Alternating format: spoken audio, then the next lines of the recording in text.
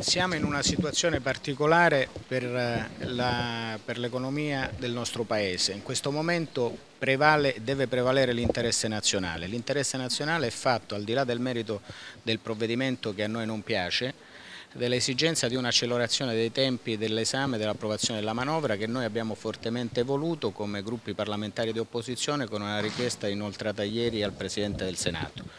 Abbiamo preso atto con soddisfazione che questa richiesta di anticipazione è stata accolta.